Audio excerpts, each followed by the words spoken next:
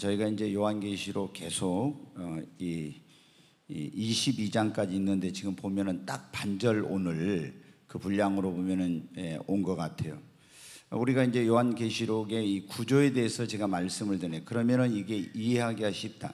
1장은 이 예, 사도 요한이 반모섬에서 환상 가운데 예수님께 그 계시를 받아서 지금 있는 일과 네가 본 것과 장차 되어질 일을 기록하여 소아시아에 있는 일곱 교회에 보내라 이런 주님의 이제 예, 그 부탁을 받았습니다. 그때 예수님께서 자신이 어떤 분인지 나는 알파와 오메가라 처음과 나중이고 그러니까 이 모든 우주 만물 역사를 주관하고 계신 분이 주님이시라고 말씀하시고 그리고 이제 그분의 모습을 보여주셨어요.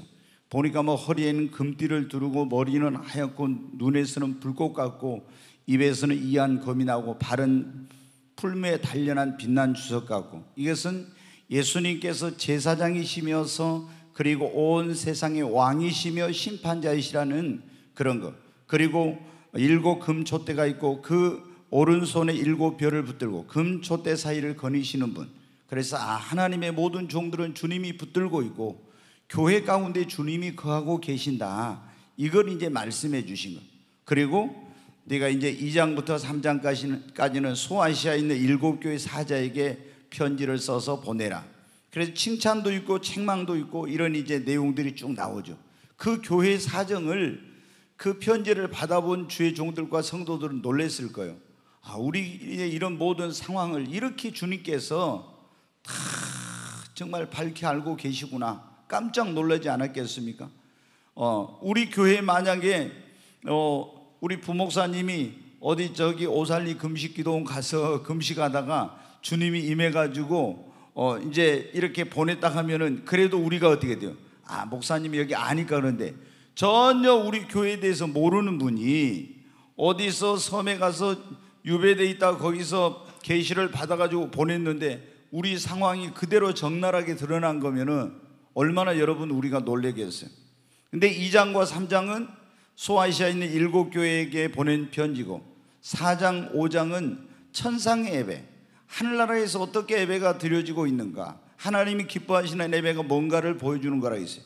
그 다음에 6장부터 이제 19장까지가 대환란 기간 동안에 있게 될 마지막 때와 대환란 기간에 있게 될 그런 일인데 첫 번째가 일곱 인의 재앙이었습니다. 첫째 인을 떼니까 흰말이 나오고 둘째 인을 떼니까 아, 붉은 말, 또 셋째는 검정 말, 넷째는 청황색 말이 나왔다. 그리고 이제 다섯째는 순교자들이 탄원을 하고 여섯 번째 인을 떼니까 어, 온 우주적인 어떤 엄청난 일들이 일어나는 이런 내용이었어요. 그리고 일곱째 인은 어, 잠깐 이제 어떤 그 공관적인 그런 부분이 14만 4천 명의 인을 치고 또 그 환란 가운데서 큰 인원 입은 무리가 나오는 이런 일이 있은 다음에 일곱째 인을 떼니까 그 일곱째 인은 일곱 나팔 재앙이 일곱째 인이다 이런 말씀을 드렸어요. 근데 우리가 이제 한번 첫째 나팔부터 한번 해보겠습니다. 자, 자 첫째 나팔을 부니까 어떤 일이 천사가 첫째 나팔을 불었어요. 그러니까 어떤 일이 일어났습니까? 하늘에서 피 섞인 불과 우박이 내려가지고 이 땅을 3분의 1을 불살라 버렸어요. 땅. 그 다음에 이제 수목의 3분의 1. 그 다음에 이 지구상에 있는 풀의 3분의 1을 다 불살라 버리는 이런 재앙이 첫째 나팔을 부니까 나팔장에서 둘째는 어, 어떤 일이 일어났어요? 이때는 바다 바다의 3분의 1이 피로 변하고 거기에 있는 바닷속에 있는 모든 피조물이 3분의 1이 다 죽임을 떼죽임을 당하고 그리고 바다에 그 운행하는 배들이 3분의 1이 다 완전히 깨져버리는 이런 엄청난 이제 바다에서의 재앙이 맺습니다. 이제 세 번째 나팔을 보니까 여러분 어떤 일이 일어났어요? 모든 물들, 강 이런데 이제 3분의 1이 하늘에서 별이 떨어지는 그 쑥이 돼가지고 물이 써서 먹지 못하고 이걸 먹는 사람은 죽는 이런 일. 그 다음에 이제 네 번째 예, 나팔을 보니까 어떻게 됐습니까? 해와 달과 별들의 3분의 1이 빛을 잃어버리는 이런 이제 재앙이 임했었습니다. 여기까지가 이제 어 그 굉장히 이것도 어마어마한 그런 재앙이죠. 그리고 이제 우리가 다섯째 나팔, 여섯째 나팔, 그리고 이제 오늘 일곱 번째 이제 천사가 나팔을 부니까 이 일곱째 재앙이 임하는 그런 이제 내용이 나옵니다. 근데 여기 보니까 뭐라고 했냐면은 어 이렇게 말씀하고 14절을 보세요. 둘째 화는 지나갔으나 보라 셋째 화가 속히 이르는도다 그랬죠. 둘째 화. 그러니까 지금 이 일곱 나팔 재앙은 몇 번째 화라고요? 셋째 화라고. 그러면 첫 번째 화가 뭔가? 그러면 그걸 한번 보겠습니다. 계시록 8장 13절부터 한번 보겠습니다. 같이 읽습니다. 내가 또 보고 들으니 공중에 날아가는 독수리가 큰 소리로 이르되 땅에 사는 자들에게 화, 화, 화가 있으리니 이는 새 천사들이 불어야 할 나팔 소리가 남아 있음이로다 하더라.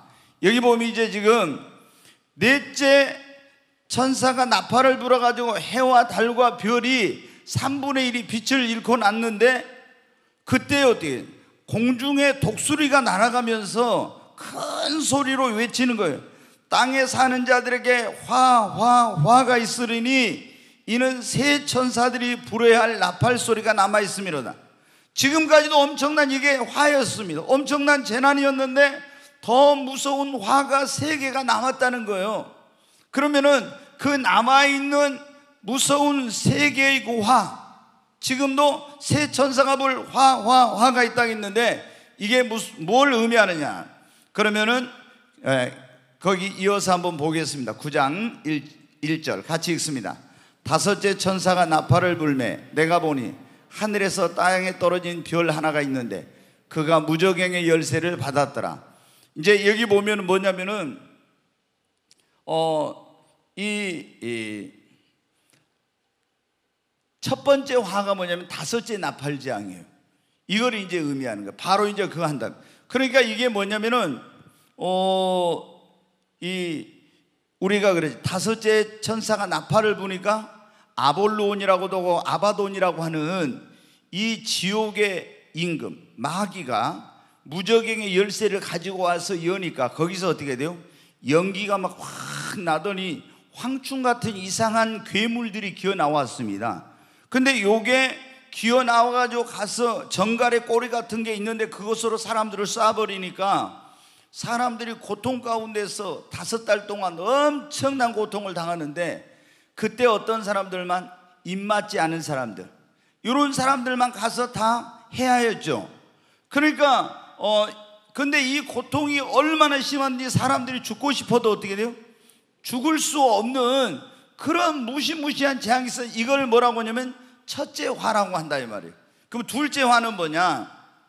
거기 계시록 9장 12절부터 15절 한번 보겠습니다. 같이 12절 같이 읽습니다. 첫째 화는 지나갔으나 보라 아직도 이후에 화 둘이 이르리로다 그랬죠. 지금 첫째 화가 뭐라고요? 다섯째 나팔 재앙이 황충이 무적에서 나와서 사람들을 쏘는 이걸 황충을 제가 뭐라고 했냐면 악령이라고 그랬잖아요.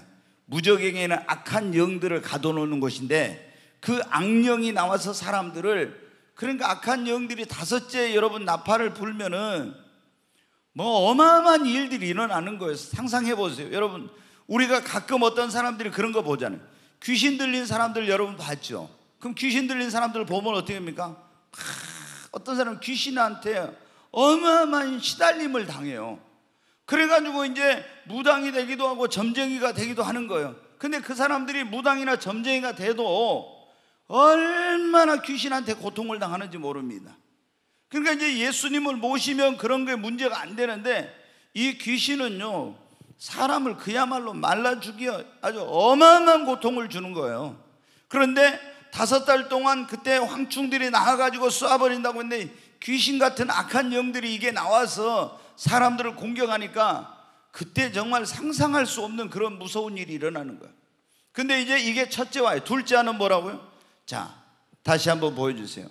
여섯째 천사가 나팔을 불매 내가 이제 둘, 에, 12절 다시 보여줘요.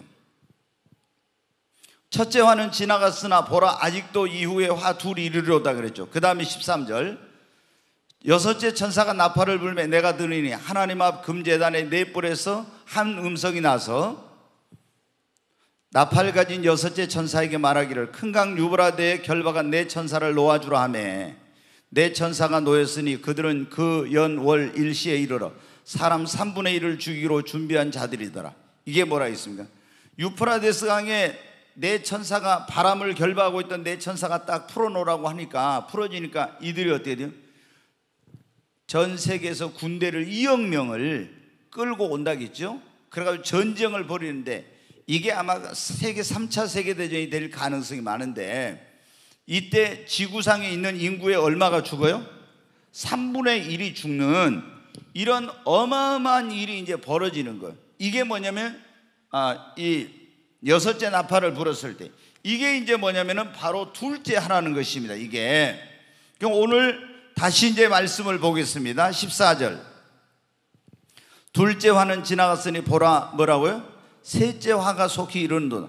그러니까 여기 보면은 다섯째 나팔이 첫째 화, 여섯째 나팔이 둘째 화, 일곱째 나팔이 셋째 화는 그러니까 이 첫째부터 넷째까지 하고 이걸 구별한 것은 뭐냐면은 이 첫째부터 넷째도 굉장한 재앙이지만은 화지만은 이 다섯째부터 일곱째까지는 그 화의 정도가 굉장히 심한 거라는 거예요. 그래서 이것을 다섯째를 첫째와 여섯째 나팔을 불 때를 둘째와 일곱째 나팔을 불 때를 셋째 화라고 이제 하는 것입니다. 그러면은 이 셋째 화, 아, 일곱째 나팔에는 어떤 일이 일어나는가 이제 거기 15절 다시 한번 보겠습니다. 일곱째 천사가 나팔을 불매 하늘에서 큰 음성들이 나서 이르되 세상 나라가 우리 주와 그의 그리스도의 나라가 되어 그가 세세토록 왕노릇 하시리로다 하니 여기 보면 일곱째 전사가 이제 일곱 번째 나팔을 불어요. 그러니까 하늘에서 큰 음성이 들려오는 거예요. 그러면서 뭐래? 세상 나라가 우리 주와 그의 그리스도의 나라가 되어서 주님이 세세토록 왕노릇 하시리로다 하는 이런 음성이 들려온 거예요. 여러분 세상 나라, 세상 나라가 지금 뭡니까? 우리가 살고 있는 세상이 일곱째 나팔이 불려지면은 세상 나라가 무슨 나라가 된다고요? 우리 주와 그리스도의 나라가 된다고. 네. 그러니까 이거는 일곱째 나팔이 불려지면은 누가 올, 오시어서 이 세상을 다스리는 일이 벌어질 때가 됐다는 거예요?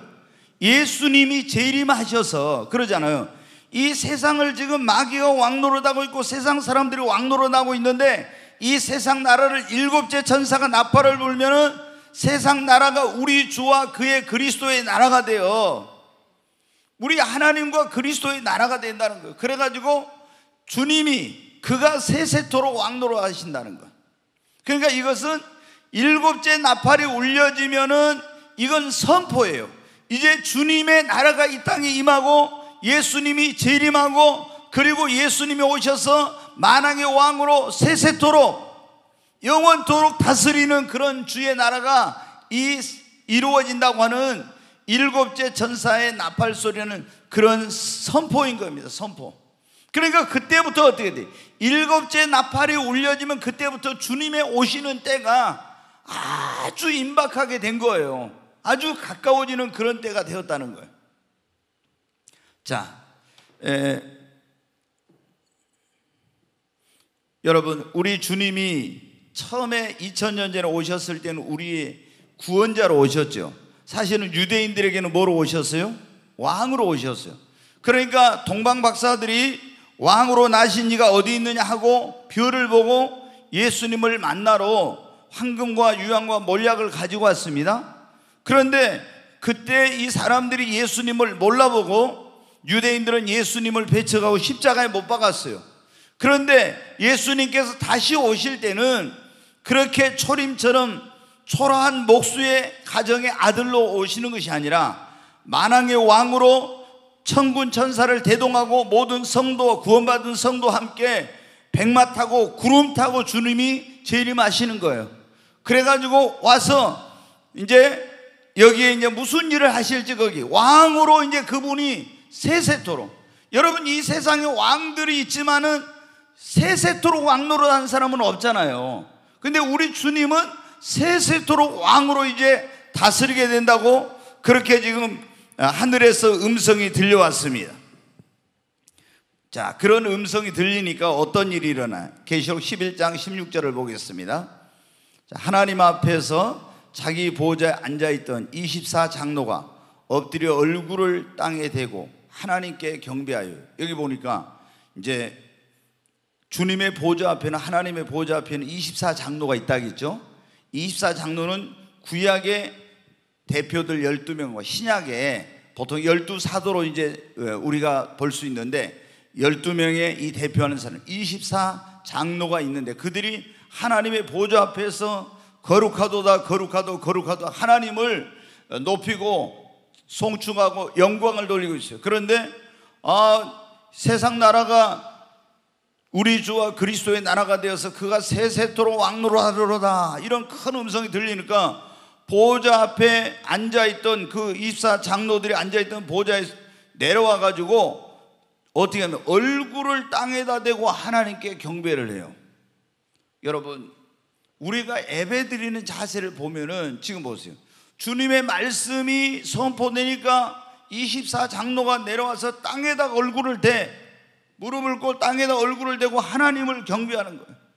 여러분, 우리가 이 하나님을 예배하는 자세가 굉장히 중요한 거예요. 근데 이 보면은 우리가 이제 요즘 젊은이들이 교회 와서 예배 드릴 때 보면 어떻게 돼요? 막 예배 드리면서 스마트폰 하고 있잖아. 막 문자 보내고 이거는 얼마나 하나님을 이걸 어, 경외하는 그런 마음이 없기 때문에 그런 거예요. 여러분 성경에 보면 예배를 잘 드리느냐 못 드리냐 이게 얼마나 중요합니까? 가인은 예배를 잘 못 드려가지고 하나님께 버림받고 저주를 받았잖아요. 아벨은 하나님께 예배를 잘 드렸어. 그럼 성경에 보면 모든 축복을 받은 사람들은 다 뭐며 첫째 하나님께 올바른 예배를 드린 거예요. 근데 보면은 예수님 믿는 성도들 있잖아요. 아니 구원받던 사람들이 예배 드린 자세가 보면요 엉망 이런 사람들이 많아요. 우리가 가장 중요한 것 가운데 하나가 뭐냐면 하나님을 예배 드리는 자세부터 바르게 돼야 돼요. 그게 안 되면 여러분 어때요? 아, 여러분이 대통령 앞에 갔다가 해봐요. 대통령 앞에서 내가 뭐 핸드폰하고 아무렇게나 막 하고 이렇게 할 수 있겠어요? 말도 안 되는 소리죠. 근데 만왕의 왕이시고 만주의 주 대신 주님 앞에 나와서 예배를 드리는데 여러분은 어떻게 돼요? 어, 허튼 짓 하고 이러면서 예배 드리면 그게 예배가 연락이 되겠어요? 예배가 연락이 안 되죠. 그러니까 여러분 성경에 보면 하나님께 예배 드리는 것은 그 제물을 드릴 때도 구약 시대는 어떻게 했습니까? 가장 좋은 거, 최상의 거, 첫 열매, 가장 좋은 거, 항상 이런 것만 드려야죠. 눈먼 거, 병든 거, 그 온전하지 못한 거 이런 건 하나님 받으시지 않는다고 했잖아요. 그 하나님을 경멸히 여기는 거예요. 주님은 뭐라고 말씀했습니까? 엘리 제사장의 그 아들 홈녀와 비나스가 있었는데 예배를 제대로 드리지 않고 좋은 것은 지네들이 먹고 안 좋은 것은 데 썼단 말이에요. 그러니까 하나님이 사무엘을 통해서 말씀하시기를 찾아오죠 뭐래. 나는 나를 존중히 여기는 자를 존중히 여기고 나를 경멸히 여긴 자를 내가 멸, 경멸히 여긴다겠죠. 그럼 뭘 가지고 그런 거예요? 예배 드린 거 보고 그랬잖아요. 그 24 장로가 신구약을 대표하는 사람들인데 얼마나 대단한 사람들입니까? 근데 주님의 말씀이 선포되니까 딱 보좌에서 나와 내려와 가지고 그 땅에 엎드려서 얼굴을 땅에다 대고 하나님을 경배하고 얼마나 겸손하고 얼마나 하나님을 우러러 높이는 그런 자세로 하나님께 예배를 드리는지 몰라요. 우리가 이 예배 드리는 자세가 바르게 돼야 그래야 하나님 앞에 축복을 받을 수. 근데 예배 드릴 때 예배를 막 보면은 야, 이제 교회 온 사람들은 하나님이 어떤 분인지도 모르고 이런 거 저런 걸 모르니까 이해할 수 있는데 집사님이라는 이런 분들이 있잖아요. 예배 드릴 때 보면은 엉망으로 예배를 드리는 그 하나님 앞에 절대 축복을 받을 수 없어요, 여러분. 자, 여기 이제 이 24장로가 하나님 앞에 경배하면서 뭐라고 하는지 한번 보겠습니다. 17절 같이 읽습니다. 이르되 감사하옵나니 옛적에도 계셨고 지금도 계신 주 하나님 곧 전능하신 이여 친히 큰 권능을 잡으시고 왕노로 하시도다 그랬죠. 여기 보면 이제 그들이 경배하는데 첫 번째가 뭐라고 했어요? 이르시되 감사하옵나니 그랬잖아요. 여러분 우리가 하나님 앞에 예배 드릴 때 제일 먼저 해야 될 게 뭐예요? 감사하는 겁니다. 아멘. 여러분이 기도할 때 제일 먼저 해야 될 일이 뭐예요? 감사하는 거예요. 아, 막 기도만 하면 하나님 뭐 주세요, 뭐 주세요. 이런 거 안 돼요, 여러분. 응? 우리가 하나님 앞에 기도할 때도 너희 구할 걸 감사함으로 하나님께 아내라 그랬잖아요. 예배는 말할 것도 없고 찬송을 할 때에도 우리가 어떻게 돼요? 막 우리의 뭐 어떤 신앙의 고백, 하나님 앞에 강구하는 그런 기도의 찬송 다 좋지만은 먼저는 여러분 돼요? 그분의 성호를 높이고 그분께 영광을 돌리고 감사하고 하는 이런 찬양, 이런 경배를 드리고 기도할 때도 여러분 먼저 하나님 앞에 감사해야 돼. 24 장로가 보면 감사옵나니 감사. 그 우리가 보면 여러분 어떻게 기도와 예배 드리고 이런 찬송하고 이런 거 할 때 보면 너무 감사가 부족해. 감사는 하나라고 하면 구하는 것은 한 열 가지나 되고 여러분 어떻게 우리가 하나님의 하나님 앞에 성경에 보면 너무 잘 알잖아요. 감사하는 자에게 하나님은 은혜 위에 은혜를 주시고 그죠 부모도 그러잖아요. 자식이 맨날 달라고만 해 감사하지는 안 하고 그러면 어떻게 돼요? 주고 싶은 마음 없죠. 근데 달라고 안 하고 맨날 부모님이 베풀어 은혜 감사합니다. 감사합니다. 맨날 이러면 어떻게? 달라고 안 해도 다 주죠. 부모의 은혜를 아는데 우리 하나님도 마찬가지 아니겠습니까? 하나님의 은혜를 알고 베풀으신 은혜에 대해서 늘 감사하면 하나님이 여러분 얼마나 하나님께 기뻐하시고 더 주고 싶고 또 그 축복해 주고 싶겠어요. 그래서 제가 우리 성도님들한테 헌금할 때 11조만 드리지 말고 감사해라. 그리고 우리가 항상 감사하는 삶을 살아라 이런 말씀을 드리는 거예요. 여러분 그거 모르 그게 제가 이제 성경에서 예전에 제가 평신도 때 이 감사하는 걸 모르는 교회에서 신앙생활을 했어요. 근데 제가 어 이제 목회자가 돼 가지고 공부를 하고 또 교회 역사에 대해서 이런 걸 하고 성경을 연구하면서 보니까 얼마나 이 감사가 중요한지를 배운 거예요. 그래서 제가 어 이제 성령 임하고 나서 그 주님이 그걸 가르쳐 주셔서 그때부터 제가 어때요? 항상 어 우리가 11조는 의무잖아요. 11조만 그 하지 말고 금액이 많고 적음을 떠나서 항상 감사의 마음을 담아서 감사를 드리세요. 이런 말을 좋은 일 있으면 또 감사하고 우리가 소원이 있을 때도 먼저 감사의 물을 드리고 이러면서 하나님께 기도하는 거예요. 그러니까 하나님께 그게 뭐냐면 축복을 받는 비결이에요.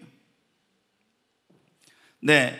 지금 24 장로가 첫 번째 경배를 하는데 경배하는 자세는 정말로 하나님을 높이는 그런 자세요. 그리고 그 경배의 내용이 뭐예요? 첫 번째 감사하옵나니 그랬죠. 두 번째 다시 이제 거기 보겠습니다. 이르되 감사옵나니 애적에도 계셨고 지금도 계신 주 하나님 그랬죠. 우리 하나님은 어떤 분이에요? 애적에도 계시고 지금도 계신 살아계신 하나님이십니다. 아멘. 영원히 살아계신 하나님이시다 이 말씀입니다. 여러분 어떻게 돼요? 누가 옛적에도 계시고 지금도 계신 분은 있습니까? 우리 주님밖에 없습니다. 그 다음에 우리의 경배와 찬양을 받으실 이 세상에 와서 왕노릇하실 그분은 옛적에도 계시고 지금도 계시는 살아계신 하나님이시며 전능하신 이여 그랬잖아요. 여러분 전능하신 주님이십니다. 능치 못하심이 없습니다. 그분은 말씀으로 세상을 창조하셨잖아요. 온 우주 만물을 말씀으로 창조하시고 없는 것을 있게 하시고 죽은 자를 살리시며 불가능한 것을 가능하게 하시고 여러분 우리 힘으로 해결할 수 문제를 해결하시고 고칠 수 없는 병도 고치시고 우리 힘으로 능력으로 변화시킬 수 없는 사람도 변화시키는 사람은 할수때 하나님은 다 하실 수 있습니다. 근데 그분이 어떻게 한다고? 옛적에도 계시고 지금도 계신 그 전능하신 하나님 되신 그분이 오셔서 큰 권능을 잡으시고 왕노로 하시도다. 이제 우리 주님이 오시면은 모든 자들이 그 예수의 이름 앞에 무릎을 꿇게 돼 있어요. 그렇잖아요. 그래야 예수님이 주님이라고 고백한다고 그랬잖아요. 자, 거기 이제 계속 보겠습니다. 네, 18절. 이방들이 분노함에 주의 진노가 내려 죽은 자를 심판하시며 종 선지자들과 성도들과 또 작은 자든지 큰 자든지 주 이름을 경외하는 자들에게 상 주시며 여기 보면은 예, 거기 아까 앞에 놔두세요. 예, 이방들이 분노함에 주의 진노가 내려 그랬죠. 이제 주님이 일곱째 나팔은 선포라고 했어요. 예수님께서 이 땅에 오셔서 그의 나라를 세상 나라가 주의 나라가 되고 그가 세세토록 왕노릇 하리로다 그런 선포라고 했잖아요. 근데 주님이 이제 일곱째 나팔이 울려지면은 이 일곱째 나팔은요. 예, 이 일곱째 나팔은 앞으로 일어날 일들을 다 이걸 포함하고 있어요. 그래서 여기에 뭐냐면 일곱 대접 재앙도 들어가고 그 다음에 이제 주님의 재림 이런 일까지 다 일어나는 거예요. 이게 이제 앞으로 일어날 일이 거기에 들어 있어요.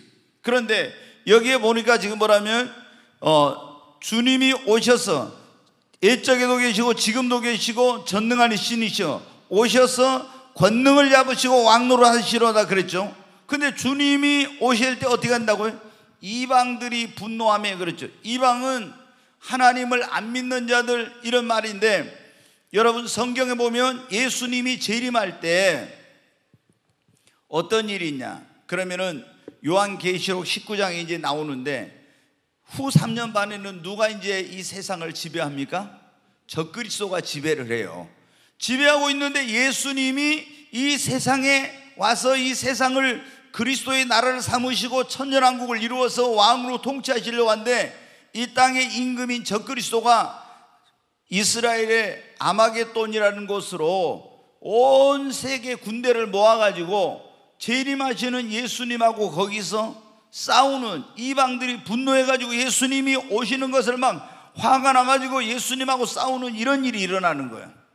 그러나 예수님 당하지 못하죠. 네. 그 여기서 이방들이 분노한다는 건 그거예요. 마지막 요한계시록 19장에 나오는 아마겟돈 전쟁 이걸 통해서 막 온 세계가 일어나 가지고 예수님을 대항하는 이런 일이 일어나게 될 것이라는 거예요. 그렇지만 봐보세요. 계속 주의 진노가 내려 주님의 진노가 막 쏟아져 버리죠. 주님 당할 수 없어요. 그리고 주님이 오시면 뭘 한다고 죽은 자를 심판하시면 여러분 이제 주님이 오시면은 죽은 자를 심판한다고 했는데 한번 이제 보십시다. 어, 성경에 뭐라고 히브리서 9장 27절에 뭐라고 있습니까? 한 번 죽는 것은 정해진 것이요 그 후에는 뭐라고요? 심판이 죽음으로 끝나는 것이 아니라 죽은 다음에는 반드시 뭐가 있어요? 심판이 있습니다. 자, 전에 이제 몇 번 여러분에 말씀드렸으니까 한번 해보겠습니다. 사람이 죽어요. 그러면 사람이 죽으면은 그거로 끝이 아니라겠죠. 사람이 죽으면은 육체는 썩어서 어디로 가요? 흙으로 가. 근데 영혼은 안 죽는다 했잖아요. 영혼 불멸설. 근데 이제 여호와의 증인 같은 이런 안식일교 이런 이단들은 뭐냐면 영혼 소멸설이라 해 가지고 사람이 죽으면은 다 없어져 버린다 이런 식으로 가르쳐요. 그런데 하나님을 믿는 사람들 여호와의 증인들만 이 땅에서 영원히 산다 이렇게 가르쳐. 근데 여러분 이 땅은 앞으로 어떻게 돼요? 천년왕국이 지나면 하나님 불로 살라버린다 했죠. 사라지고 새 하늘과 새 땅이 내려오죠. 우리는 영원한 천국으로 가야 돼. 그 여호와의 증인들은 이 땅에 살다가 그냥 알아서 하라게요. 예, 근데 우리가 사람이 죽으면 끝이 아니에요. 자, 죽으면은 어, 육체 육체는 흙에서 왔으니까 어디로 간다고요? 흙으로. 근데 우리 영혼은 죽는다 안 죽는다? 안 죽는다는 거예요. 그러면 자, 우리가 이제 다시 한번 복습을 합니다. 신자가 죽었을 때 불신자가 죽었을 때 다르죠? 신자는 죽으면은 육체는 흙으로 가요. 그러죠? 근데 영혼이 어디로 갑니까? 낙원으로 가. 누가 보면 16장에 보니까 부자하고 나사로가 죽었는데 부자는 믿다가 타락한 사람이에요. 전혀 안 믿었던 사람은 아니고 믿다가 타락한 사람이에요. 왜? 아브라함을 보고 뭐라 했어요? 아버지 아브라함이요 이랬으니까 유대인이고 하나님을 믿었던 사람이요. 근데 날마다 이 술 먹고 방탕하고 타락한 생활을 했잖아요. 그런 짓을 해서 하나님 앞에 버림을 받았어요. 그러니까 예, 불신자는 근데 죽으면 그 영혼이 어디로 가요? 음부로 가, 음부. 낙원은 안식과 희락의 장소예요. 그런데 음부는 뭐입니까? 고통의 장소예요. 그러니까 이 지옥에 간 부자가 뭐라 했습니까? 막 불과 유황으로 타는 데서 고통 가운데 이렇게 눈을 들어서 보니까 저 멀리 뭐가 보여? 낙원이 보여. 근데 낙원이 보이는데 낙원에 누가 있었어요? 나사로가 아브라함의 품에 있는 거예요. 그러니까 아버지 아브라함이요 나사로를 보내서 물을 찍어가지고 내 혀를 좀 서늘하게 해주세요 했죠. 그러니까 너희와 우리 사이에 낙원과 음부 사이에는 건너갈 수 없는 그런 강 같은 게 있다. 그래서 가고 싶어도 갈 수 없고 올 수 없다. 안 된다는 거예요. 그러니까 여러분 어떻게 자, 낙원에 가 있다가 신자는 어떻게 합니까? 나중에 예수님 재림할 때, 재림할 때 어떻게 돼요? 부활을 해. 예수님 재림할 때 이걸 뭐라고 하냐면 첫째 부활이라고 해요. 첫째 부활. 예수님 재림. 땅에 살아있는 사람들은 어떻게 돼요? 휴거가 되고 이제 죽은 사람들은 어, 부활을 하고 살아있는 사람은 휴거돼 가지고 공중으로 올라 주님을 만나. 그래가지고 주님이 이 땅에 이제 재림하시면은 여기서 주님이 재림하시면 뭐예요? 지상에 뭐를 이루어요? 천년 왕국. 그래가지고 여기서 천년 동안 예수님이 왕으로 이제 통치를 하시는 거예요. 왕으로 다스려. 천년 왕국이 지나면은 이제 어디로 갑니까 우리는? 새 하늘과 새 땅. 뭐요? 천국으로 가는 거예요. 이제 영원 천국으로. 이게 바로 이제 진짜 천국이에요, 이게. 이게. 우리가 보통 지금 죽으면 천국 간다는데 사실은 어디 가요? 낙원에 가 정확히 말하면 천국 가는 게 아니라. 그러니까 낙원은 구원받은 성도들의 영혼이 가서 머무는 장소예요. 근데 이제 예수님 재림할 때 부활해 가지고 지상으로 내려와서 영화로운 몸으로 예수님처럼 변화돼 가지고 천년한 동안 여기서 살다가 그 다음에 이 지구가 아예 없어져 버릴 때 천국이 내려오는데 그 천국으로 가서 여기서 영원토록 살아요. 자, 불신자는 어떻게 돼? 음부에 가서 지금 불과 유황으로 데서 영원히 고통을 당해. 그러다가 이 사람들은 여러분 어떻게 주님이 재림할 때 부활을 못 해요. 뭐가 지날 때까지 천년 왕국이 지날 때까지 이 사람들은 뭐냐면 계속 음부에서 고통을 당해. 그 천년 왕국이 지나면은 주님이 이제 둘째 부활이란 걸 해요. 둘째 부활. 그때 이제 천년 왕국 후에 부활이 있어. 이거는 그러니까 첫째 부활에 참여하는 자가 성경에 뭐 뭐라 했어요? 복이 있다고 했어요. 둘째 사망이 그들을 다스리는 권세가 없다. 그럼 둘째 사망이 뭐예요? 지옥이에요. 지옥. 근데 둘째 부활에 참여하고 어디로 가냐? 백보자. 하나님의 흰보자 심판대 앞에 가서 심판을 받는데 생명책에 이름이 기록되지 못한 사람은 다 어디 가요? 불못이라고 하는 어디? 지옥에 가는 겁니다. 지옥. 여기가 지옥이에요. 영원히. 여기 가서 영원토록 사는 거예요. 근데 지금 18절 말씀에 뭐라 했습니까? 주의 진노가 내려 죽은 자를 뭐 하시며? 심판하신. 여러분, 주님이 오시면 반드시 온 세상을 공의로 심판합니다. 아멘. 물론 이 땅에 예수님 오셨을 때 모든 사람이 다 죽은 건 아니에요. 뭐 일곱 대접장으로 죽고 막 또 네, 넷째인 떴을 때 그때도 뭐 여러분 사람들이 죽고 어마어마한 사람들이 이제 죽죠. 7년 한란 동안에. 그런데 많은 사람들이 살고 있는데 주님 오시면 재림하면은 그때 어때?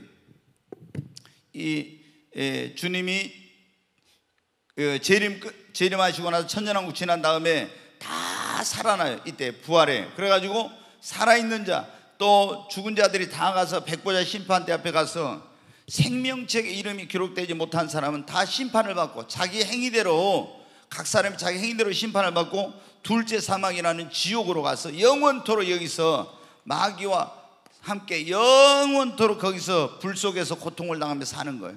근데 이 부활할 때 어떻게? 그냥 저기서는 지금은 영원히 고통을 당하고 있는데 부활할 때 어떻게? 몸은 이제 부활이 되는 거예요. 그래가지고 백보자 심판대 앞에 가 심판을 받고 지옥에 가는 거예요. 자, 근데 주님은 반드시 일을 하신다는 거예요. 그 다음에 계속 한번 보겠습니다. 자, 죽은 자를 심판하시며 또 종 선지자들과 성도들과 또 작은 자든지 큰 자든지 주의 이름을 경외하는 자들에게 뭐를 주신다고요? 상을 주신다고. 여러분, 우리가 히브리서 11장에 보면 그러네. 어, 하나님이 살아계신 것과 그가 자기를 찾는 자들에게 뭘 주신 걸 믿어야 할지니라? 상을 주시는 걸 믿어야 된다겠죠. 여러분, 상 주시는 하나님을 믿습니까? 진짜로 믿으세요? 여기 보면 그렇게 나오잖아요. 종 선지자들 선지자들과 성도들과 또 작은 자든지 큰 자든지 주의 이름을 뭐 하는 자에게 경외하는 자에게 상 주시며 그랬어요. 여러분 먼저 우리는 하나님을 경외하는 자가 되어야 합니다. 하나님을 경외한다는 게 뭐냐? 하나님을 경외하는 건 하나님을 우러러 두려워하고 존중히 여기며 하나님을 경배하고 이게 뭐냐면은 이게 하나님을 경외하는 거예요. 하나님에 대한 외경심. 그분을 존중히 여기면 하나님에 대한 외경심을 가져 높으신 그 하나님, 거룩하시고 위대하시고 광대하신 하나님, 그 영광의 하나님에 대한 존경과 두려움과 사랑과 최고의 영광을 돌리 이게 뭐냐면 하나님을 경외하는 거예요. 사람의 목적이 뭐냐? 우리는 이제 장로교인가 그 신앙 고백이 웨스트민스터 신앙 고백이나 첫째 사람의 목적은 뭐냐면 성경에도 나와 있죠. 하나님 우리를 지으신 목적이 하나님의 뭐를 위해 살라고? 영광을 위해 살라고 그러잖아요. 하나님을 경외해야 됩니다. 먼저 여기 보면 주의 이름을 경외하는 자들의 상 주시며 그랬는데 주의 이름을 경외하는 자들에게는 어떤 일이라는가? 한번 그걸 먼저 보겠습니다. 주의 이름을 경외하는 사람 말라기 한번 보겠습니다. 보여주세요. 네, 같이 읽습니다. 그때 여호와를 경외하는 자들이 피차에 말하며 여호와께서 그것을 분명히 들으시고 여호와를 경외하는 자와 그 이름을 존중히 여기는 자를 위하여 여호와 앞에 있는 기념책에 기록하셨느니라. 하나님을 경외하는 사람들의 이름을 어디 하나님 앞에 있는 뭐에 기록해 놔요? 기념책, 생명책에, 기념책에 여러분 기록해 놔요. 그러니까 교회를 다니지만 하나님을 경외하지 않는 이거는 신앙이 가짜야 이거는. 진짜로 하나님을 믿는 사람, 진짜로 여러분 예수를 믿는 사람은 하나님을 경외. 그러면 하나님 앞에 여호와를 경외하는 자들을 그 이름을 기념책에 바로 여러분 그 생명책에다가 그 사람의 이름을 기록해 놓는다는 거예요. 가장 중요한 게 뭡니까? 우리가 백보자 심판대 앞에 갔을 때 가장 중요한 게 뭐가 있어야 돼요? 생명책에 내 이름이 있어야 됩니다. 아멘? 생명책에 이름이 없는 사람 다 지옥 가는 거예요. 근데 어떤 사람의 이름이 생명책에 기록됐다고요? 하나님을 경외하는 사람. 예수님을 믿고 하나님을 경외하는 사람들의 이름을 분명히 거기다 기록해 놨다겠잖아요. 아멘. 자, 또 한번 보겠습니다. 계속. 경외하는 거에 얼마나 중요해. 자, 같이 읽습니다. 내 이름을 경외하는 너희에게는 공의로운 해가 떠올라서 치료하는 광선을 비추리니 너희가 나가서 요양학과 안에서 나온 송아지 같이 뛰리라. 여기 보면 내 이름, 하나님의 이름을 경외하는 자에게는 공의로운 의로운 해, 태양, 치료의 광선을 만화해서 의로운 해는 뭐냐 주님을 말씀하는 거 이걸 비유로 떠올라서 치료에 뭐를 비춘다고요? 광선을 비춰. 그래서 너희가 나가서 치료의 광선을 비춰서 병든 사람을 고쳐가지고 외양간에서 나온 송아지가 뛰는 것처럼 해준다고. 그러니까 여러분이 병들었을 때 하나님께 기도하는데 하나님 나를 막 고쳐주세요. 나 요한은 치료에 하나님의 치료에 하나님 고쳐주세요. 예수 그리스도가 이 땅에 온 사역의 3분의 2가 뭡니까? 치료의 사역이잖아요. 저가 채찍에 맞음으로 너희는 나음을 얻었나니 친히 그 몸으로 우리 죄를 담당하시고 우리의 질병을 다 짊어지셨다고 했잖아요. 그러니까 예수님을 채찍에 맞은 공로로 누구든지 병 고쳐 받을 수 있는데 하나님이 어떤 사람에게 치료의 광선을 발해서 고쳐준다고요? 여호와의 이름을 경외하는 자에게 아멘. 그러니까 우리가 치료받으려면 하나님의 이름을 여러분 경외해야 됩니다. 그래야 하나님이 치료해 주신 거예요. 자, 계속 보겠습니다. 음, 빨리 빨리 보여줘요. 네. 같이 읽습니다. 여호와께서 모든 것을 선대하시며 그 지으신 모든 것에 긍휼을 베푸시는도다. 예, 이 공고한 자가 부르짖에 여호와께서 들으시고 그의 모든 환란에서 구원하셨다. 여호와의 천사가 주를 경외하는 자를 둘러 진치고 그들을 건지시는다. 여기 보면 여호와의 천사가 주를 경외하는 자를 둘러 진치고 그들을 환란에서 어떻게 된다고요? 건져 주신다고. 주를 경외하는 사람을 아, 천사를 보내서 하나님이 건져 주신다고 하지 않습니까? 얼마나 이게 중요한지 또 보겠어요. 겸손과 여호와를 경외함의 보응은 재물과 영광과 생명이니라. 여러분 다 부자 되고 싶지 않아요. 재물이 풍부하고 싶지 않아요. 근데 여기 보세요. 겸손과 여호와를 경외함의 보상은 재물과 영광과 생명이라고. 그러니까 우리가 하나님을 경외해야 하나님이 재물도 주시고 그에게 영광도 입혀 주시고 하나님이 생명도 보장해 주시고 이렇게 하는 거예요. 또 보겠습니다. 여호와를 경외하면 장수하는 그런 악인의 수명은 짧아진다는데 여러분 오래 살고 싶으시면은 하나님을 경외해야 돼. 아멘.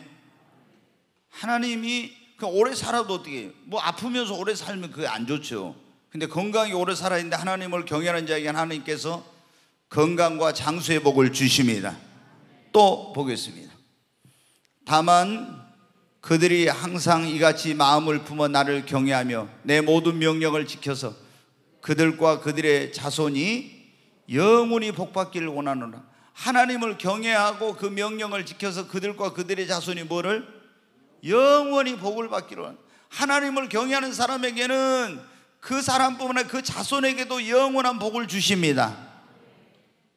그러니까 이게 얼마나 지금 그리고 오늘 말씀 아까 18절 말씀에 다시 보겠습니다. 여기 보니까 주의 이름을 종 선지자들과 성들과 또 작은 자든지 큰 자든지 주의 이름을 경외하는 자들에게 뭐를 주시나고요? 상을 주시며 아멘. 여러분 우리가 이번에 제가 주일날 설교 그 기억하실 거예요. 너무 간단해요. 우리는 뭘 바라보고 신앙생활하고 뭘 바라보고 살아야 되는 첫째 누구를 바라보고요? 예수님 바라보고 신앙생활하고 예수님 바라보고 살아야 된다. 두 번째 아 진짜 안 들어본 것 같아요. 천국을 바라보고 아니 여러분 이게 분명해야 돼요. 예? 먼저 예수님 바라보고 매일 천국을 바라보고 그 다음에 뭘 바라보고요? 하늘나라의 상급을 바라보고 그러니까 신앙생활에도 그런다 했죠. 상급을 안 바라보고 천국만 바라보고 사는 사람은요 열심히 신앙생활 안 해. 반드시 우리가 뭘 바라보고 그 나라에서 상급과 영광과 멸류관 바라보고 사도 바울이 어떻게 돼요? 그걸 바라보고 하니까 뭐 그렇게 힘든 일이 있어도 그 달려가고 끝내 순교까지 했잖아요. 그걸 바라봐야 돼요. 그러니까 아, 나 천국 예수 믿고 이제 구원 천국 간 이거를 목표로 하면 안 돼. 우리가 세상에 힘들고 어려울 때 있지만은 그럴 때 어떻게 주님 나라 생각하면 천국을 생각하면 여기서 이건 잠깐이니까 아무것도 아니 위로가 되고 소망이 있잖아요. 그런데 천국 가는 것이 우리의 목표가 되면 안 되고 천국에 가서 주님 앞에 가 상을 받는 것이 목표가 돼야 됩니다. 근데 주님이 어떤 사람들에게 상 주신다고요? 주의 이름을 뭐 하는 자에게? 경외하는 자에게 상 주신다고. 자, 여러분. 고린도 후서 5장 한번 말씀 보겠습니다. 같이 읽습니다. 우리가 담대히 하여 원하는 바는 차라리 몸을 떠나 주와 함께 있는 그것이라. 그런즉 우리는 몸으로 있든지 떠나든지 주를 기쁘시게 하는 자가 되기를 힘쓰노라. 이는 우리가 다 반드시 그리스도의 심판대 앞에 나타나게 되어 각각 선악간에 그 몸으로 행한 것을 따라 받으려 함이라. 네, 구절 말씀 다시 봐요.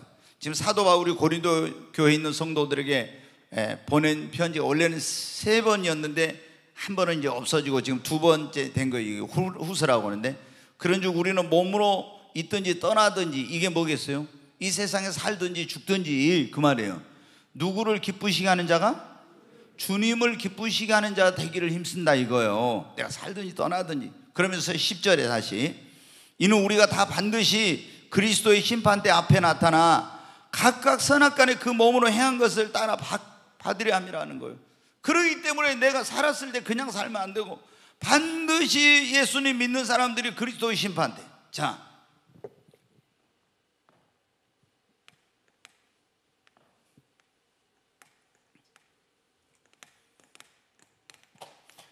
여러분 지금 얼마나 이거를 우리 성도들은 이게 이렇게 명확하게 이걸 하는지를 이걸 여러분이 지금 잘 몰라. 얼마나 중요한.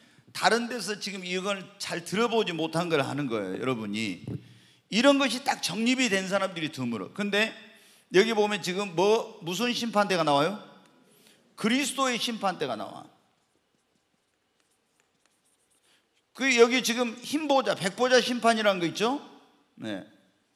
백보자 심판대가 있고 그리스도의 심판대가 있어요. 이 흰보자, 백보자 심판대는 이게 뭐냐? 천국이냐 지옥이냐요. 여기서 가장 중요한 것은 뭡니까? 이름이 어디에 기록됐냐 안 됐냐? 생명책에. 그래서 생명책에 이름이 있으면 천국 가고 이름이 없으면 지옥 가는 거예요. 이게 백보자 심판은 최후의 심판이에요. 그래서 우리가 예수님 믿는 사람들이 이제 주님이 재림하시면 지상 재림하면은 주님 앞에 가서 뭘 받냐? 이것하고 다른 예수님 믿는 사람들만 그리스도의 심판대라는 것은 예수님 믿는 사람들만 가서 여기서 심판을 받아요. 무슨 심판? 구원받은 다음에 예수님 믿은 다음에 어떻게 살았느냐 이것에 대해서 심판을 해가지고 상급을 주고 상급을 못 받고 영광스러운 구원을 받고 부끄러운 구원을 받고 이런 것이 다 결정이 되는 거예요. 그래서 여러분 보세요. 예수님이 마태복음 24장 25장에 보면 재림장이라고 하는데 25장에 보니까 달란트 비유 나오죠. 달란트 비유 보니까 어, 주인이 먼 나라를 갈 때 종들을 불러서 다섯 달란트, 두 달란트, 한 달란트 맡겨줬어요. 근데 먼 나라에 갔다 돌아와서 종들을 불러서 거기서 이제 계산을 다 맞춰봐요. 이게 종들에게 다섯 달란트, 두 달란트, 한 달란트 맡겼다는 거, 먼 나라에 갔다는 거면 주님이 이 땅에 오셔서 우리 믿는 자들에게 은사와 재능과 달란트와 이런 걸 주시고 저 하늘나라에 가셨다는 거예요. 다시 돌아왔다는 것은 비유로 말씀하는 거예요. 주님이 뭐 했다? 재림하셨다는 거예요. 마태복음 24장 25년 재림장이니까 재림을 하시면은 종들을 불러서 야 다섯 살 줬는데 너 그거 가지고 어때 장사했어? 이렇게 물어봐. 두 달러트 받는데 너 어떻게 했어? 한 달러트 줬는데 너 어떻게 했어? 근데 그때 보니까 뭐예요? 주님이 그거를 통해서 다 가르쳐 주신 거예요. 주의 임하신 것 세상 끝에는 무슨 징조가 있습니까? 그러니까 이런 일이 있다. 이렇게 믿는 자들을 다 불러서 주의 종들을 불러서 심판하는 그런 일이 있다. 그 말씀해 주신 거예요. 그래가지고 거기서 다섯 달란트 받은 사람은 열심히 또 가서 장사해가지고 다섯 달란트 남겼어. 우리 저기 노효중 자매는 몇 달란트 받은 것 같아요? 응? 모르겠어? 어. 다 하나님 달란트를 주셨어. 근데 다섯 달란트만 가지고 그거 묻혀놓으면 땅 속에 묻어놓으면 안 되는 거죠. 그렇죠? 반드시 다섯 달란트 받았으면 그거 가지고 열심히 장사를 해서 주인을 이롭게 다시 말해 주님께 영광을 돌려야 돼요. 그 다섯 달란트 받는 다섯 달란트 남겼잖아요. 그러니까 주인이 뭐라 했어요? 착하고 충성된 종아. 네가 작은 일에 충성하였으면 네 주인의 즐거움에 참여할지어다. 그러고 칭찬받았죠. 그러니까 우리가 주님께 달란트를 받아서 열심히 충성한 사람은 주님 오실 때 칭찬을 받는 주인의 즐거움에 참여. 그런데 두 달란트 받은 사람도 또 두 달란트 남겼어. 한 달란트 받은 자 불러가지고 너 어떻게 했냐 하니까 아 당신은 모으지 않는데 해치고 이래서 내가 땅 속에다 그걸 묻어뒀다가 그 하나 가지고 왔습니다. 그러니까 주인이 뭐라고 해요? 이 악하고 게으른 종아 이걸 은행에라도 맡겨놨으면 이자로 받을 건데 네가 이걸 땅 속에 묻어놓은 이 게으른 종아. 그러면서 그걸 뺏어가지고 열 달란트 간자에게 주고 뭐라고 합니까? 종들에게 말합니다. 저놈을 수족을 결박하여서 바깥 어두운 데로 내어 쫓으라. 거기서 이를 갈며 슬피 울미 있으리라. 여러분 안 믿는 사람이 아니라 믿는 사람이에요. 그러니까 주님이 주신 달란트를 가지고 제대로 사용을 안 하고 땅속에 묻어둔 것처럼 이렇게 하고 악하고 게으른 삶을 살면은 주님 오시면은 잘한 자에게는 뭐를 줘요? 그리스도의 심판대에서 상을 줘. 멸류관을 줘. 영광을 입혀 주시고. 그런데 못한 자에게는 어떻게 돼요? 하나님이 지옥에 가는 것은 아니지만 구원받았으니까 반드시 징계를 받아요. 징계를. 그래서 바깥 어두운 데로 내가 쫓겨서 일을 가지고 슬피 울음이 있는 거예요. 천국에 갔다 오신 분들이 여러분이 그러더라고. 가니까 아, 이제 그 모든 막 뭐 목사님들 이런 분들이 막 철장에 갇혀 있더래요. 그래서 아니 왜 저 유명한 목사님 저 철장에 갇혀 있지? 해가지고 막 이제 주님한테 가서 물어봤다는. 그랬더니 저 종은 세상에 있을 때 지가 내가 받아야 될 영광을 다 받아버렸대. 그래가지고 부끄러운 권을 받아서 주님의 영광을 도둑질해서 주님이 어떻게 돼요? 바깥 어두운 데다가 내쫓아내서 거기 지금 징계를 받고 있다. 이런 이제 말. 그러니까 여러분 어때요? 성경을 우리가 구원은 우리가 뭐로 받아요? 믿음으로 받죠? 아멘. 예수님의 십자가 보혈로 구원받았습니다. 그러나 상은 구원받은 다음에 어떻게 신앙생활을 했느냐에 따라 상을 받고 징계를 받는 거예요. 그러니까 여러분은 어떻게 돼요? 제가 이번 주일날 낮에 그 자세히 말씀 못 우리가 예수님 믿는 사람들 하늘나라 영광은 영원한 거예요.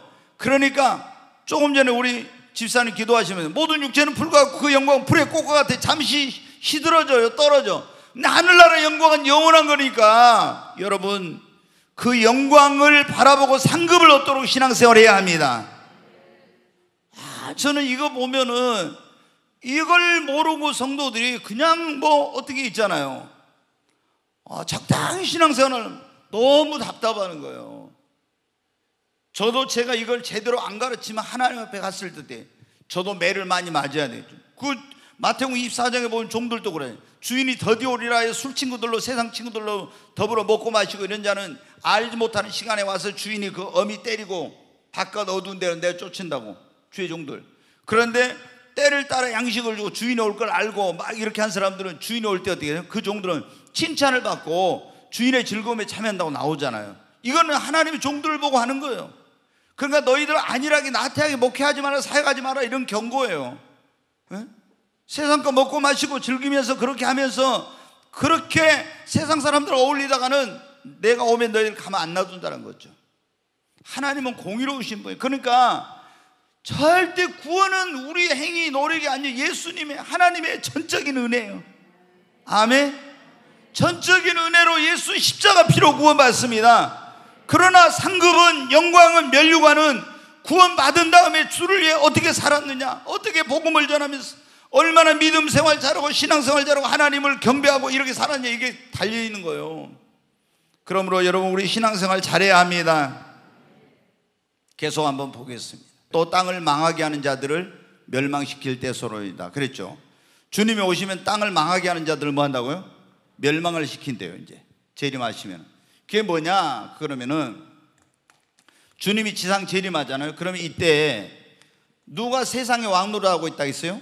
적그리스도가 그 통치하고 있다겠죠. 후 3년 반은 어 이제 다음 주부터 이제 더 이 요한계시록 계시록 12장부터 이제 아주 흥미진진한 13장에 가면 이제 또 육룡표 나오고 막 이게 진짜 흥미진진한 내용이 나옵니다. 근데 적그리스도 그 다음에 거짓 선지자가 있어 이때 거짓 선지자.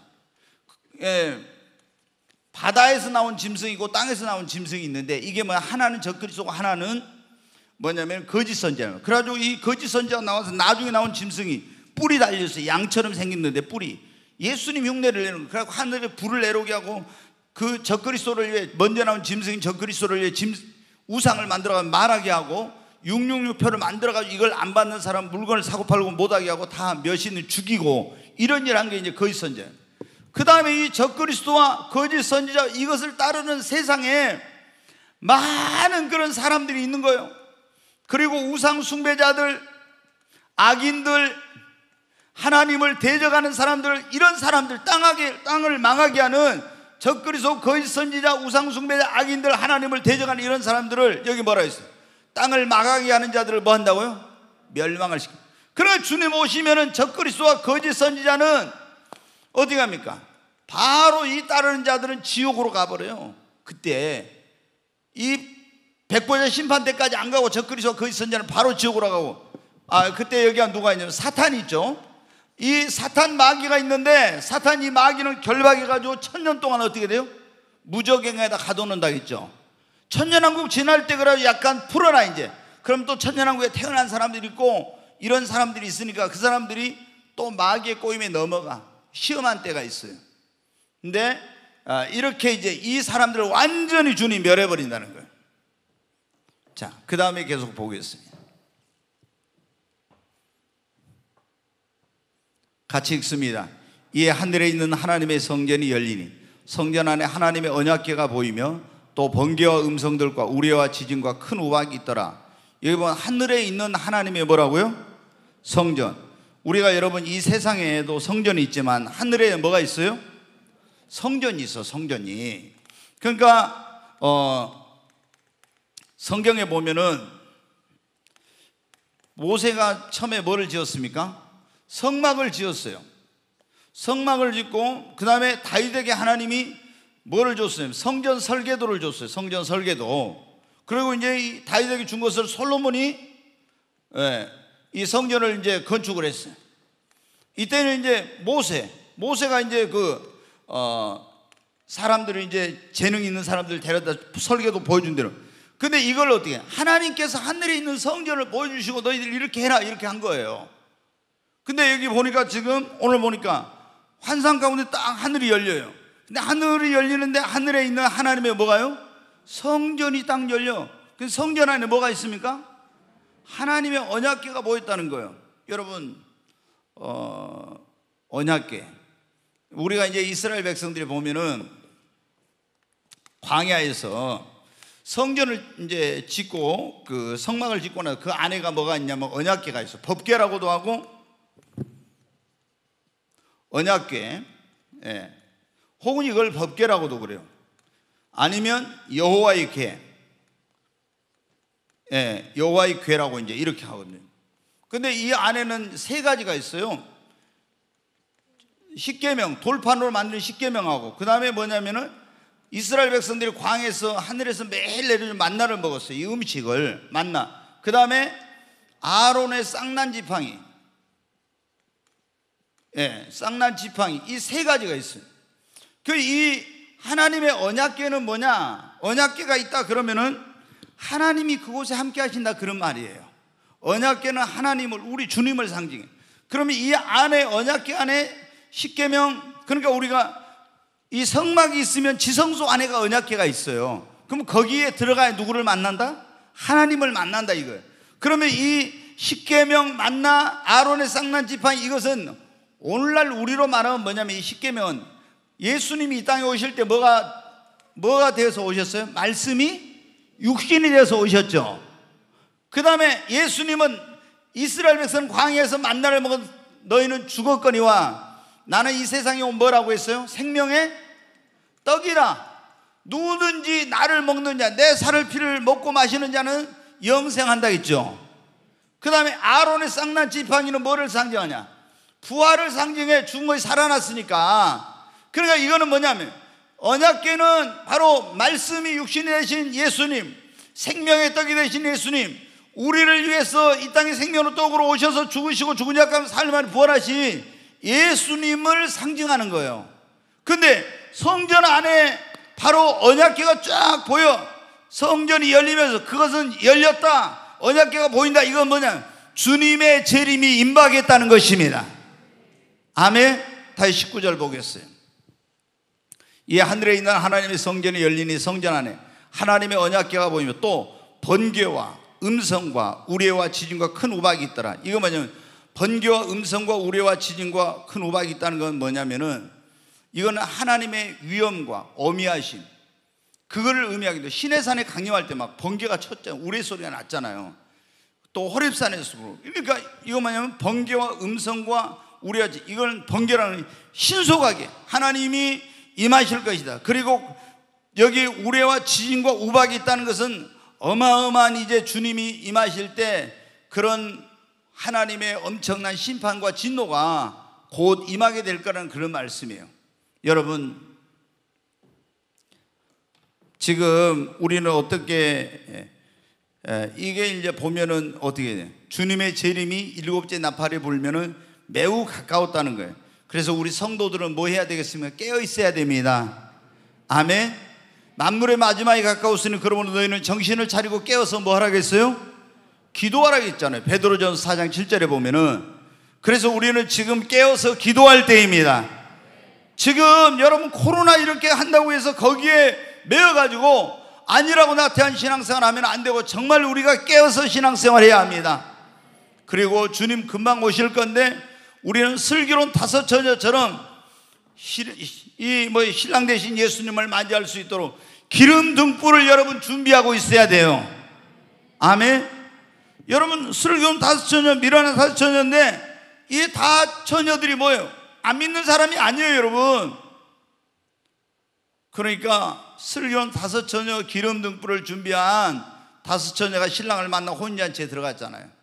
여러분 예수님 오실 때 신랑을 오신다 했잖아요. 그분을 우리가 만나기 위해서는 성령의 기름 등불, 신앙의 기름 등불이 충만해야 됩니다. 그리고 다시 저는 여러분에게 말씀드리죠.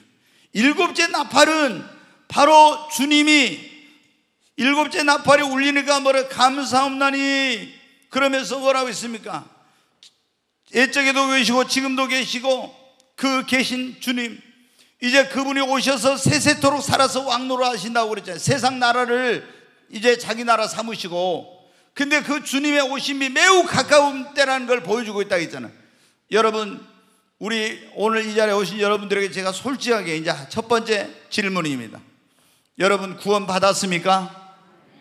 진짜 구원 받았어요? 확실하게 가장 중요한 거 진짜 오늘 내가 주님 오셔도 만날 수 있는 내가 오늘 죽어도 천국 갈 수 있는지 확실한 구원의 믿음을 가져야 됩니다. 여러분 그리고 주님이 오심이 가깝다면 우리는 깨어서 뭐 해야 된다고요? 기도해야 됩니다. 그리고 부끄러움 없이 주님 만날 수 있도록 준비하고 아직 내 사랑하는 부모나 형제나 남편이나 자녀들이나 이웃들이 구원받지 못했다면 그들에게 어떻게 돼요? 주님 재림하고 나면은 더 이상 구원받을 기회가 없고 뭐 666 시대 되면요. 그 이제 666 시대 지난 다음에 주님 오시지만 지난 666 시대 되면은 예수님 안 믿는 사람들은 여러분 어떻게 돼요? 누구든지 그 이름이 생명체에 기록되지 못한 사람은 다 뭐를 받더라? 표를 받는다고 나왔잖아요. 안 믿는 사람은 다 받아. 무조건 100% 받아. 그리고 믿는 자들 가운데서도 무서워서 믿음이 없는 사람은 어떻게 사나? 표안 받아. 그런 사람들은 가서 받는다 이 말이에요. 근데 우리는 절대 받으면 안 됩니다. 안 받으면 어떻게 사냐고 목사님. 광야에서 이스라엘 백성들 먹을 아무것도 없는 하나님이 뭐 했어요? 만나를 내려 주셨잖아요. 하나님은 어제나 오늘 영토록 동일하십니다. 그리고 3년 6개월 동안 비 안 올 때 사렙다의 과부의 통에 그 뭐가 안 떨어졌어요? 가루가 그 밀가루 떨어지지 않았잖아요. 하나님 지금도 이런 기적을 베풀 수 있는 줄 믿습니다. 그 제가 이거 몰랐을 때는 아우 우리 집 사람도 막 걱정을 많이 하더라고. 뭐라고 하냐면 저한테 그런 거예요. 결혼해 가지고 제가 이런 걸 이제 좀 들으니까 그때 아 여보 우리 애 하나만 낳자고 그래요. 그래 왜 하나만 낳아? 그랬더니 아니 뭐냐면 나는 그래도 괜찮은데 애가 우유도 못 사고 그래가지고 뭐 키우고 뭐 하는데 이제 그때 금방 올 줄 알았는가 나한테 막 울면서 먹을 거 내놓으라고 하면 어떻게 하냐고 그러더라고요. 근데 지금 보니까 어떻게 돼요? 그런 걱정할 필요 없어요. 우리 믿음의 시험이 오겠지만은 하나님 앞에 믿음을 가지고 있으면 하나님이 다 공급해 주세요. 아멘. 문제는 우리의 믿음이야. 그렇죠? 내가 그런 믿음을 갖고 네 믿음대로 된다겠으니까 여러분 우리는 그리고 무엇보다 신앙생활 주님 오시면 주의 종들과 그 이름을 경외하는 자들에게 큰 자나 작은 자나 이름을 경외하는 자에게 뭐 주신다고요? 상 주신다고 상 받을 수 있도록 신앙생활해야 합니다. 아멘. 상 받을 수 있도록 해야 돼요.